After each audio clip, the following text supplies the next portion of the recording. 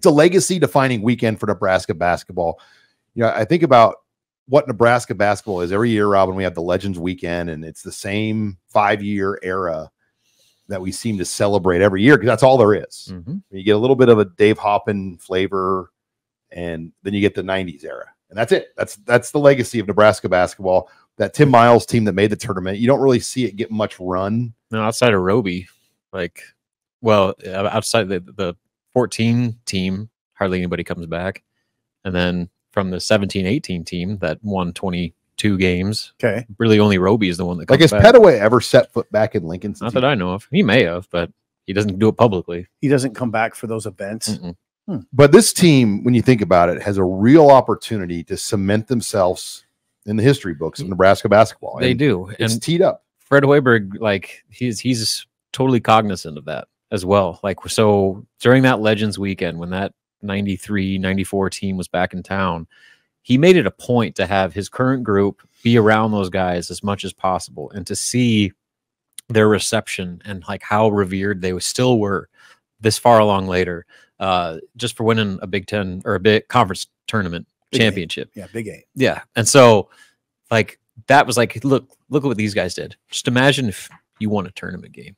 Imagine if you went to the Sweet 16. Just Oh. like you guys would be legends It would be. forever. Keisei Tominaga at age like 65 would still be And recognizable. so so that goes to the point of of legacy. Like this season is great and they all want to accomplish like stuff for this year, but like on top of what it means for the here and now, what it could mean for their futures. You see it with football all the time. Like these these guys from the championship teams, like they have like careers based off of their college basically football sports experience. talk radio in Nebraska is centered around guys that played in the 90s. And so this team has an opportunity. I mean, may, maybe not to reach national championship football player level, but like they could have a situation where whatever they wanted to do in Nebraska, they could do it. Mhm. I mean, as far as like career opportunities and continuing to kind of play off of that. Sure. And if nothing else, every time they would come back, they would be welcomed back like they were the biggest celebrities ever. So, I mean, I think that that's that's something they've really kind of tried to ingrain in these guys that the season, you know, is is huge for you guys, but just think about just what it means beyond, Mhm. and and what you accomplish now could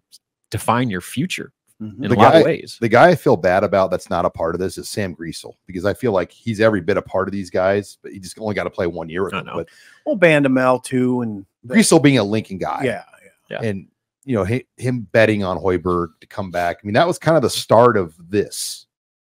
Yeah, yeah, He yeah. played a significant part in it, absolutely. Yeah. And there's, I mean, but he's the guy though that I think everyone, at least that is around and, and watching this whole thing play out, will understand that. I mean, he's part of it. Like he's he's as important of a piece as anybody, and just because of what you said, Sean. So like when he came back, uh, I can't remember which game it was this year, uh, but he was back here. I mean, Bryce was back here, um, and like he was just walking around like the the man of the town, you know. And I think that he'll always be remembered as one of the most important dominoes that, that got things rolling for Part of this kind of. Well, and it's just something about in-state kids, particularly Omaha guys. They they've just kind of held their nose up towards Nebraska basketball, and this could be a moment to help turn Yeah, that. haven't they? And you know, I'm an Omaha guy. I grew up around it all. I went to a lot of Creighton games growing up. I went to a lot of Nebraska games. I so I, I know both programs well. Yeah, you do. and it it just I, I, well, I saw it change. I mean, I saw the change when Altman beat. I was at the game when Altman beat the Tyronn Lue team. Speaking of legacy, Fred. I mean, if they- they just get that one win, and Mhm. Fred Hoiberg nails down the first NCAA tournament win in Nebraska history, huge. It'd be gigantic. It'd be gigantic for program momentum. A lot of the guys are back next year. Um, he's got a team coming back that Mhm. looks good. In the transfer, they'll get two or three pieces, right, Rob? Oh, Yeah. Rob?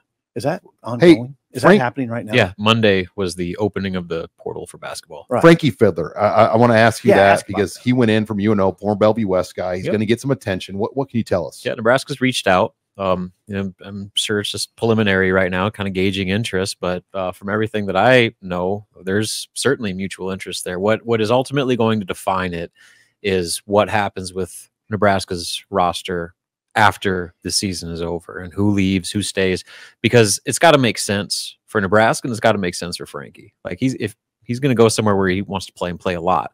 If Nebraska brings everybody back from this NCAA tournament team that we're talking about as one of the the greatest teams in program history, what role would he potentially have here? So that's that's kind of what they got to figure out. But if there is a situation where a role opens up that he can come in and play substantial minutes, it makes a lot of sense. And honestly, Sean, a lot of it goes back to what you're talking about the, the in state factor. The fact that Nebraska wants guys that care about Nebraska. They want people that care about the people, care about the, the the program beyond just what can Nebraska do for me. They want guys that want to do things for Nebraska, and in-state kids do that. And Frankie Fidler certainly would check that box. Would Creighton be interested in Fidler? I've heard that they would. I, the initial list of schools that reached out to him when he hit the portal, they weren't on there, but you know they're right in his backyard. What's so- what what role were we talking about? Like, give me a comp. Well, I mean, comp. he's honestly like a lot of what CJ Wilcher does. Okay. Now, CJ obviously walked on senior day, um, but that was a lot of it to acknowledge his graduation uh, back in December. So that's like he's a type of guy that if if he's back, I don't know. I just don't know like what did you need two of those guys? Fidler can shoot it like Wilcher. Well, yeah, but at Wilcher's Wilcher's peak, a better shooter. At Wilcher's peak, he's better than Fidler. We saw it against Wisconsin. Yeah. I mean that that like I don't know if Fidler could have done that. I mean, come on, like that was unbelievable. I agree, but CJ is very streaky.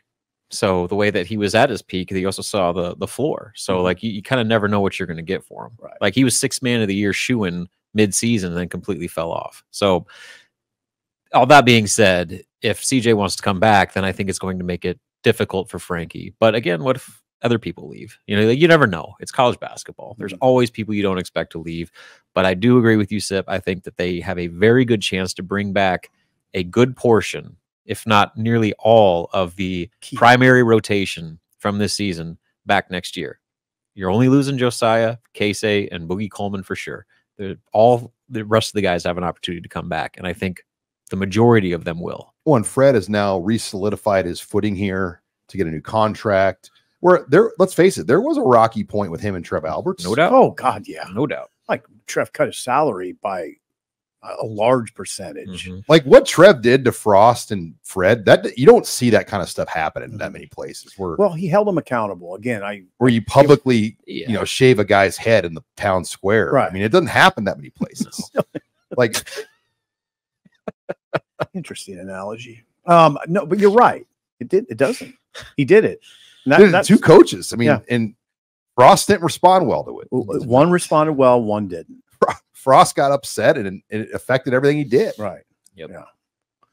But yeah, and Fred responded exceptionally well. Changed the changed the way he operates. Yeah. Really I mean, fundamentally. a, s- the major reason why Nebraska did this shift with their style, the players they recruit, and all that sort of thing, the way their staff is structured, is because of Trev Alberts and because of those Interesting. ultimatums that were laid out there. He kind of forced Fred's hands to have to do those things and adapt. Mhm. If you want That's to be not here, easy to do. That's not it's easy. not easy. To which a lot of ads wouldn't even ever do that. no, Well, it's not easy. especially a for, guy that didn't even hire the coach. right. It's not easy for a coach to adjust like that too. But Fred gives Took Fred a lot credit. of compromise on both sides. Yeah, I guarantee it was not comfortable, but it's look at how it's worked out. You do got to give Trev a little credit for that. Well, that 20 Fred gets the credit. Yes. Let, us make that clear. But the impetus was Trev, the haircut, as Sean calls. it. that was it the 21 22 season, Robin, where they had to play like they had all those games canceled for COVID.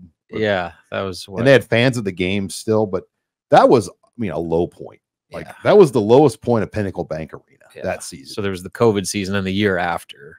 And then, the year we Well- did the show with the McGowens. yeah, so that, that was 21, 22. and I'll never forget that Wisconsin game. It was like four in the afternoon or three in the afternoon, and they just got drilled in PBA, and they were just mad old guys getting up and screaming.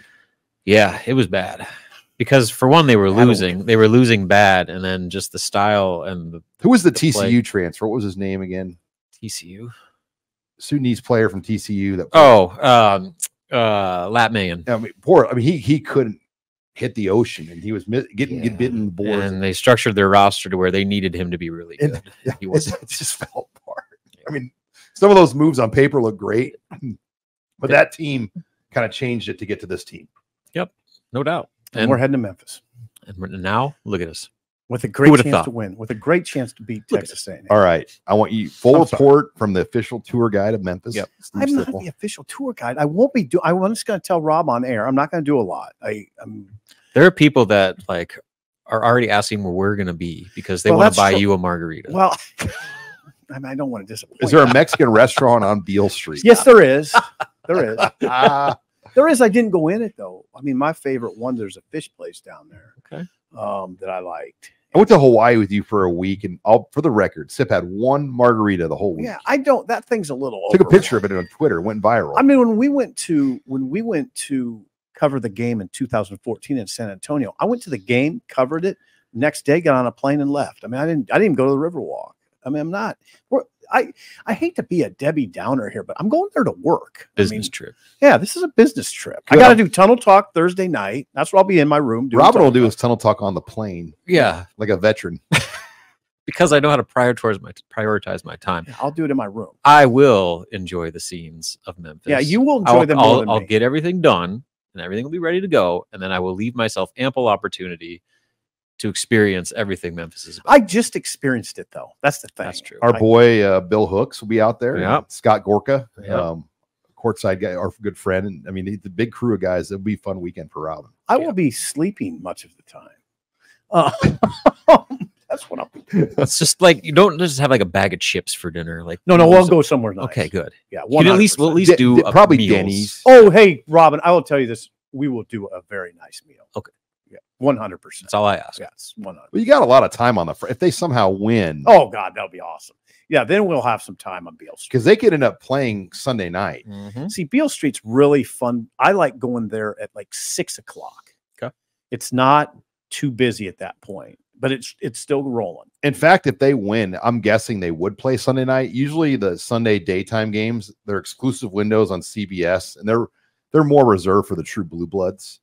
So Nebraska would probably, I mean, more than likely they'd, they'd be pushed into one of the Turner Network games later in the evening Yeah. because you always get the Kansas, the Kentuckies, the North Sure. Carolina, the Dukes. They get those windows on CBS, and I don't know if Houston's that kind of draw. Hmm. Might I be. know, like Sean says, a perfect time for for Nebraska fans. Five fifty on a Friday night. Ooh. It's perfect. Tanner's, I can't even imagine. Like, I know the last time 10 years ago, I was in Tanner's for that Baylor game, and that was their record sales day they ever had had. Is at that right? Point. It was Is that right? insane. And I'm guessing it will be similar. Mm. And that was an eleven a.m. game. Yeah, That then the early. women will play. We haven't talked about that. The women play Friday night at like nine. Yeah, right after. Wow. So you can write two columns on Friday. I. Abby, Abby will have that covered. Yeah, we'll have Abby on it. All right. Well, gentlemen, safe travels to Memphis. I am jealous, envious. you should be. I will be in Sioux Falls. I'll get. I'll drive back Friday morning. I, I I'm doing an event up there, so I'm driving back Friday for You're that doing an event. Thursday night Really? for Hausmann Construction up there. So Well, you're gonna know how I felt when I was snowed in in Iowa City, and you guys are lounging on a beach at the Polynesian Bowl out in Hawaii. So Sorry, Rob. That's horrifying. oh god, it was a great week. It was. I'm sure it was. It was. It was. It was ridiculous. I got to tell you, it was ridiculous.